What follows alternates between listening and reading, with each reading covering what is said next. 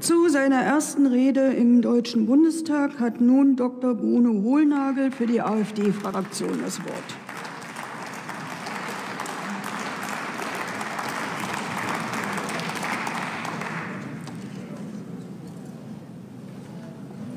Sehr geehrte Frau Präsidentin, liebe Kolleginnen und Kollegen, sehr verehrte Damen und Herren. Wer seine Interessen nicht deutlich formuliert und vertritt, wird zum Spielball fremder Interessen. So geschieht es mit den deutschen europäischen Währungspolitik. Wie sonst wäre es zu erklären, dass die verantwortliche deutsche Politik den Sirenengesängen von Macron hinterherläuft. Macron folgt alleine seinen Interessen und den Interessen seines Landes. Frankreich steht finanzpolitisch mit dem Rücken an der Wand. Frankreich braucht Geld. Frankreich braucht den EWF. Das ist der wahre Grund dafür. Und was ist der EWF? Meine Damen und Herren, offiziell ist der EWF ein überstaatliches Rettungsinstrument. Tatsächlich ist es eine Art Bank.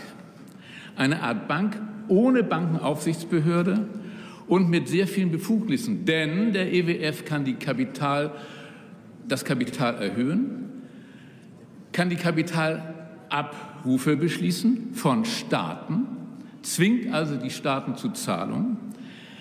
Der EWF kann die Stabilitätshilfen gewähren und deren Kreditrichtlinien festlegen. Das ist nicht das, was wir brauchen. Der Gouverneursrat des EWF, bestehend aus den Finanzministern, beschließt etwas, für das die Staaten haften müssen.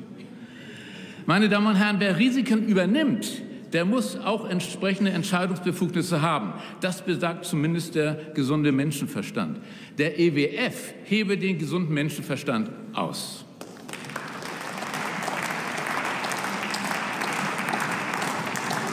Wir lehnen den EWF auch dann ab, wenn er parlamentarische Kontrollen unterliegen sollte. Denn auch dann besteht der Tatbestand der Gemeinschaftshaftung. Die Bundesregierung hatte ja seinerzeit bei der Einführung des Euros sich zu der No-Bail-out-Klausel entschieden. Keine Mithaftung für andere Staaten. Im EWF wird genau das passieren. Wo bleibt eigentlich die klare Richtlinie der Politik? Sie ist verfallen. Wir wollen eigenverantwortliches Handeln in jeder Beziehung. Nur das nämlich bietet die Chance für eine nachhaltige Politik. Wir wollen die Haftungsketten sprengen, weil sonst die Gefahr läuft, dass wir an den Haftungsketten in den Abgrund gezogen werden.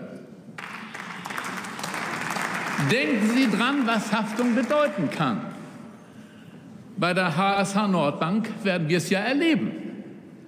Da hat man gesagt, das sind ja nur Haftungen.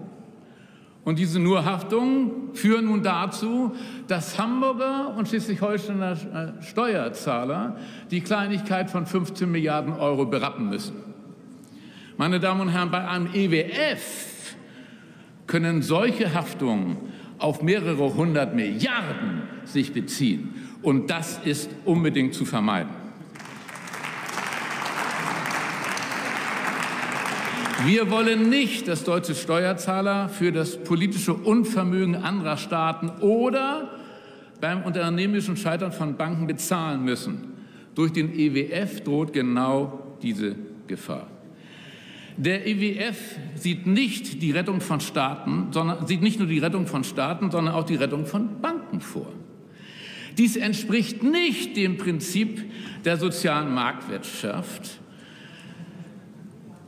Er entspricht nicht dem Prinzip der Eigenverantwortlichkeit. Wir wollen die Prinzipien der sozialen Marktwirtschaft erhalten wissen. Wie sagte schon Ludwig Erhard, nach welchen objektiven Kriterien soll bestimmt werden, wem staatliche Unterstützung zuteil wird, wem sie vorenthalten wird und von wem sie zu bezahlen ist? Es gibt diese objektiven Kriterien nicht. Der EWF ist mit seinem sozialen Marktwirtschaftsbezug vollkommen gescheitert. Deswegen lehnen wir ihn ab. Und meine Damen und Herren, ich möchte doch mal von meinem Redeprotokoll abweichen und doch hier etwas sagen, was die Kollegin Frau Steffen angedeutet hat. Arbeitslosenversicherung. Was heißt denn das? Bei der Arbeitslosenversicherung zahlt doch jeder Arbeitnehmer in eine gemeinsame Kasse ein. Hört sich toll an. Und wenn jemand arbeitslos wird, dann kriegt der Arbeitslose aus dieser gemeinsamen Kasse Geld. Hört sich toll an. Was bedeutet denn das? Das bedeutet doch, dass wenn eine, ein Staat eine verfehlte Wirtschaftspolitik betreibt, die zur Arbeitslosigkeit führt, dass der deutsche Arbeitnehmer für diese verfehlte Wirtschaftspolitik, die er gar nicht beeinflussen kann, bezahlen soll. Meine Damen und Herren, das ist nicht Solidarität, sondern das ist die Subventionierung von Unvermögen oder Unkenntnis. Und das muss verhindert werden.